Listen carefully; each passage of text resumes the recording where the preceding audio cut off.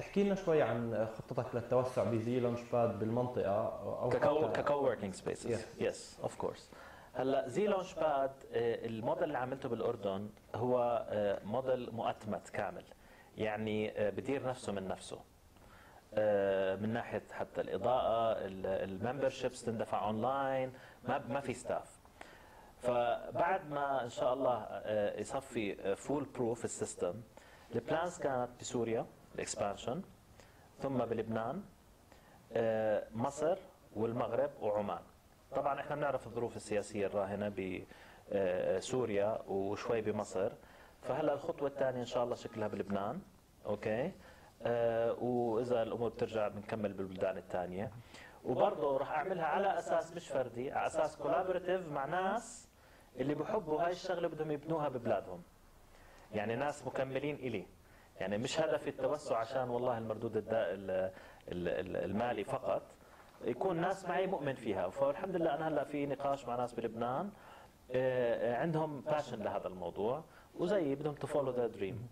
وليش اخترت هاي الدول اللي هي أوكي اخترت هاي الدول لأنه هاي الدول لسه فيها برأيي pool talent talent pool sorry أو آه، يعني آه، زي قاعدة إبداع. والبلدان ما فيها كثير خلينا نقول support لهدول الناس. بس تعرف دول الخليج فيها support وفيها زخم كبير من هاي المشاريع. فهاي البلدان أنا برأيي رح نقدر آه، من خلالها آه، نلاقي آه، اللي سميناها المحيط الأزرق من إبداعات. وفيها low cost structure بنقدر نعمله يعني بنية تحتية رخيصة اللي نقدر من خلالها نستغل هاي الإبداعات للأسواق اللي فيها هوامش أكبر من المردود لهذول الناس وتمكين لهم يعني أنت بتحاول تروح على المحل اللي لسه مش مش محروث يعني آه، بدك بدك تحرث الأرض.